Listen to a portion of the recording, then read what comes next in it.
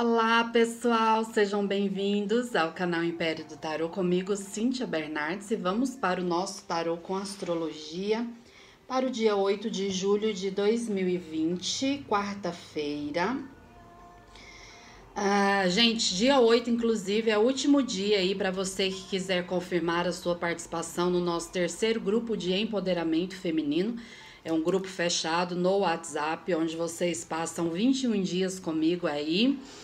Duas mesas radiônicas quânticas no primeiro dia e no último dia, e depois mais 19 dias de meditação com as deusas. Mensagens aí, meditação, é, no intuito né, de trazer essa cura, libertação e empoderamento feminino, tá? É um preço super simbólico, apenas 50 reais por pessoa. Não fique fora dessa, ok? Então confirme aí a sua participação até quarta-feira, dia 8. Uh, ah, esteja comigo aí a partir do dia 10. As informações somente pelo WhatsApp.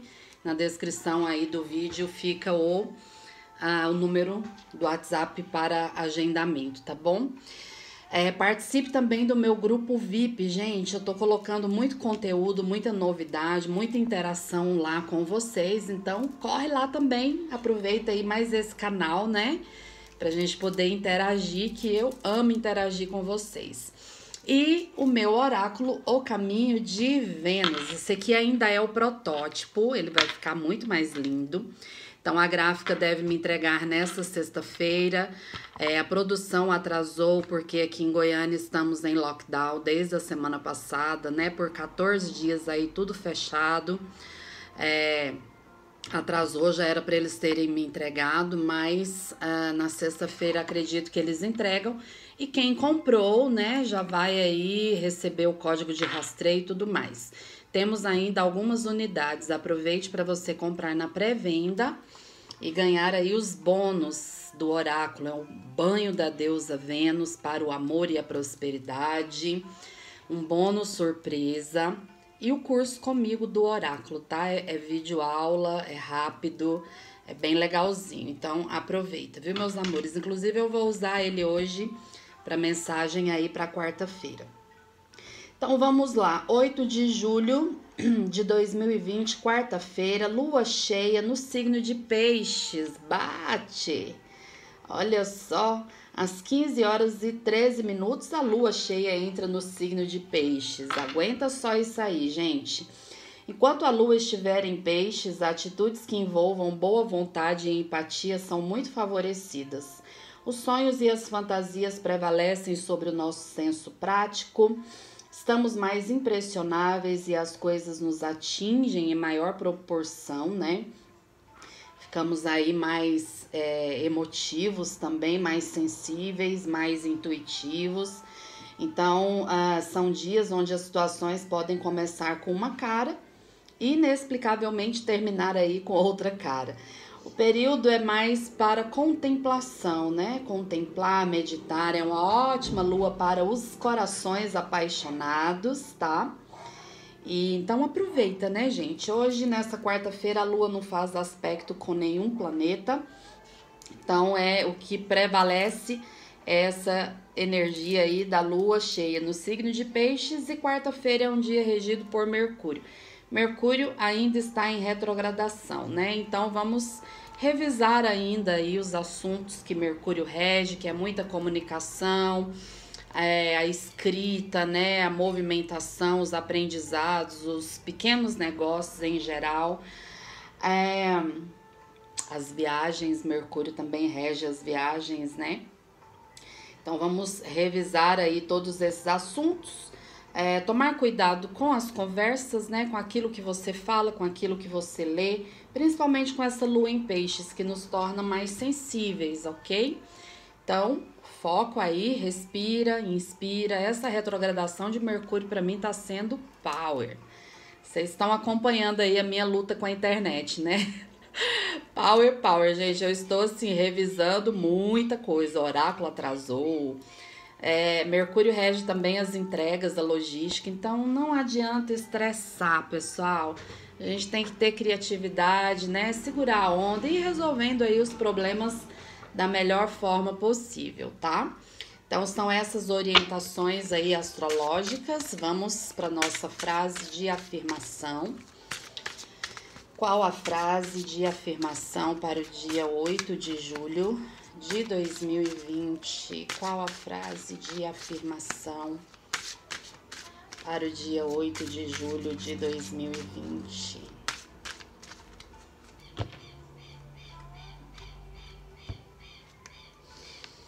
Agora eu tenho ao meu alcance uma imensa riqueza e um enorme poder. Eu me sinto digno e merecedor disso, ó. Afirmação para prosperidade, viu? Este momento eu mereço o melhor e eu aceito o melhor. Então, o universo, Deus, a espiritualidade, ele sempre quer nos dar o melhor. É, muitas pessoas não se sentem merecedores, né? E muitas pessoas também não aceitam. Então, se conecte aí com o poder dessa frase que é muito forte. Nesse dia de Mercúrio, Mercúrio também rege a prosperidade, né? Porque o deus Hermes ele é comerciante, gente. Então, o comércio é de uma riqueza, de um fluxo de abundância, de prosperidade incríveis, tá? Então, anota aí essa frase e medita nela fala ela, verbaliza, pense, sinta também para que você possa se conectar, ok? Vamos com a mensagem do oráculo O Caminho de Vênus. Gente, eu pego esse oráculo, eu sinto tanto amor, eu sinto tanta alegria. Eu, quando ele ficar pronto, eu vou fazer um vídeo contando a história desse oráculo. Muitos aí já sabem, né? Mas eu quero contar porque é, é assim, foi um presente maravilhoso, surpreendente, inesperado. Eu espero que o mundo goste, que o mundo receba. Fico muito feliz, muito mesmo. Parece que eu tô sonhando, sabe? sonhando. Mas gratidão. Vamos lá. Peço uma mensagem do oráculo Caminho de Vênus para todos os signos Sol, Lua ou Ascendente para o dia 8 de julho de 2020. 8 de julho de 2020, qual a mensagem? Vamos lá então, começando com o signo de Áries. Áries, olha só. Continue, não desista dos seus sonhos, viu, querido? É, independente do que você estiver vivendo ou passando, é, a espiritualidade pede que você se fortaleça e continue a sua caminhada. Existe aqui uma trajetória, né, que você precisa fazer para chegar lá, tá? Então, ande, caminhe, se empodere, é, vença os obstáculos, vença às vezes o maior obstáculo, né, que pode estar dentro de você. É, eu sinto muito aqui desânimo, viu, Aries? Eu sinto muita energia de desânimo, tá? Então não abra mão dos seus sonhos. Levanta a cabeça, segue a sua caminhada e vai em frente, tá? Beijo. Touro, uau! Olha só, touro. Touro saiu a carta de touro, então é touro mesmo, né? Aqui pode ser pessoas do signo de touro aí, tendo um papel de destaque importante no seu dia, mas como energia que fala, energia de estabilidade e prazer. Então eu acredito que será um dia aí onde de alguma forma, né, você vai ter estabilidade, sentir ou mesmo encontrar a estabilidade e também aí o prazer, né? Touro regido por Vênus, Vênus rege o prazer, ok? Então, momento aí prazeroso para você. Acredito que vocês estão num momento legal aí de relacionamentos e também a parte financeira, tá, Touro? Beijo. Vamos para Gêmeos. Uau, mira que rica, Gêmeos desejos, vivendo o fogo da paixão. Oh my God, adoro. Então, geminianos, olha só, muitos desejos, né? Uma quarta-feira aí com bastante intensidade, essa lua é, cheia no signo de peixes, atiçando ainda mais o desejo e trazendo aí a vivência, né, do fogo da paixão. Acredito que os geminianos estarão aí, né, é, muito ligados ao, ao, prazer, muito ligados às paixões, né? Buscando, vivendo, desejando. Então, é isso. Aproveita e cai nesse fogo, viu, gêmeos? Beijo. Vamos para Câncer. Câncer, temos aqui energia do signo de Leão. Então, pode ser aí pessoas do signo de Leão, tá? E Leão, ele fala do brilho e poder, né? Eu sempre chamo os meus leoninos aí de purpurinas, porque eles representam aí essa o dourado, o ouro, a realeza, o brilho, o poder, tá? É um dia legal para você investir aí no seu cabelo, na sua juba, fazer um corte, fazer uma hidratação, né? Dar uma arrumadinha. E também um, um dia de bastante poder. E assim, acredito que você estará roubando olhares, viu, Câncer? Então aproveita que tá forte. Beijo. Vamos agora para eles, Leãozinho. Leão, olha. Então, Leão, o oráculo fala para você: eu sempre tenho muito do que eu desejo. O que você deseja? Aqui é como se fosse a lâmpada de Aladim, né? A lâmpada mágica de Aladim. É uma representação aí do universo. O universo pergunta para você o que você realmente deseja, porque você pode ter muito daquilo que você deseja. Revise aí os seus desejos, né? Intencione os seus desejos é, seja co-criador dos seus desejos. É como se o universo estivesse te olhando, conspirando ao seu favor nesse dia, tá bom, Leãozinho? Beijo. Acredito que mensagens, notícias, alguma coisa aí também deve chegar para vocês, tá? Vamos para Virgem. Hum. Virgem, decida o que você realmente quer. Então, Virgem, pode ser aí um dia de decisões super importantes, né? Onde você deve tomar uma decisão, fazer uma escolha, escolher um caminho. O que não dá é para ficar parado aí no meio da encruzilhada, no meio da vida, no meio da sua caminhada. Então é um dia que pede decisões e principalmente atitudes, tá? Beijo. Aqui também pode favorecer algum tipo de mudança, eu acredito mudança de, de casa, mudança de cidade, alguma coisa assim, tá? Vamos para Libra. Libra, você. Uau! Você é um imã. Perdão. Você vai atrair um novo amor, Libra. Uau! Lua cheia no signo de Peixes potencializa o magnetismo, né? Então aqui fala que você está com o poder de atração. Você pode atrair um novo amor, um novo amor, uma nova pessoa, ou você também pode atrair um novo amor dentro do amor existente. Acredito que é um poder de magnetismo e um poder de atração amorosa muito grande aí, né? Atração química, atração amorosa. Então, um dia que favorece o amor, as conquistas, tá bom, Libra? Beijo. Escorpião. Ah, escorpião temos aqui, ó. Plante o que você deseja colher. Então é o momento, escorpião, de agora até a próxima lunação, que vai ser a lunação de leão, né?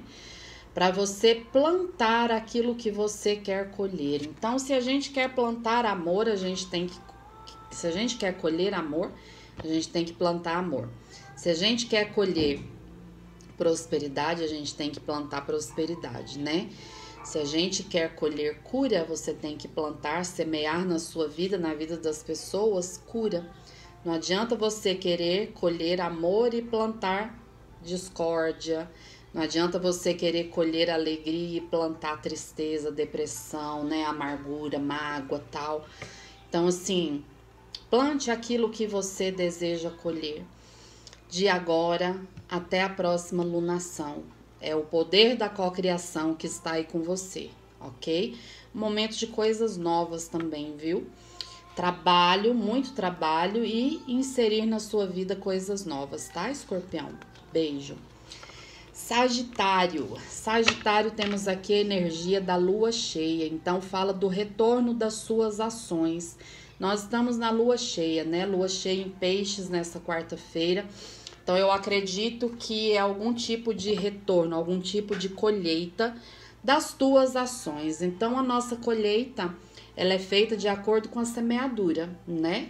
Se você plantou algo bom, você vai colher isso. Se você infelizmente não plantou algo bom, é necessário que você colha também. Essa é uma lei espiritual, certo? Mais um momento de colheita e retorno aí das tuas ações, viu, Sage? Beijo. Capricórnio, Capricórnio, sorria, Capri. O seu coração está sendo curado. Olha que lindo. Então, um momento de felicidade, um momento de gratidão, pois os seus sentimentos, o seu coração, é, até mesmo aí a sua autoestima, né? A sua vida de uma forma geral está sendo curada. Seja feliz, sorria, agradeça, seja gentil com as pessoas, sorria para você mesmo. Quando você acordar, você vai lembrar de mim, você vai olhar no espelho e vai dar um lindo de um sorriso e vai falar gratidão, fonte divina criadora de todas as coisas. O meu coração está sendo curado, por isso eu agradeço. E assim é. Beijo, Capri. Aquário. Então, Aquário, temos aqui energia do signo de Libra, pode ser aqui pessoas do signo de Libra. E a mensagem fala de parcerias e equilíbrio. Então, é um momento aí bom né, para você fazer parcerias de trabalho, parcerias afetivas, equilibrar os seus relacionamentos, né, equilibrar a sua vida de uma forma geral. A energia de Libra traz aí uma energia muito harmoniosa, é muito qual é a palavra que eu quero dizer? Muito temperada, né? Muito temperada. Então eu acredito que é você conseguindo colocar tudo sob controle e muito forte aí para uh, essas parcerias, né? Acordos, parcerias de amizade, parcerias em geral. O momento que você deve ser super diplomático, tá? Então, desenvolva aí a diplomacia, seja flexível também, tá bom, Aquário? Beijo. E vamos para meus peixinhos. Mira que rica, olha que lindo. Peixes, boas notícias chegarão, aguarde. Uau! Então, boas notícias chegarão para vocês aí nessa quarta-feira, viu? Aguarde, o universo vai trazer, né? Algo que você estava esperando ou não. Aqui tem um coraçãozinho, ó. Pode muito bem ser aí notícias, né, em relação ao amor, ou pode ser notícias que vão agradar muito o seu coração boas notícias, que elas venham e venham aí a galope, né? Então é isso, meus amores. Beijo no coração, amo vocês e até amanhã. Tchau, tchau.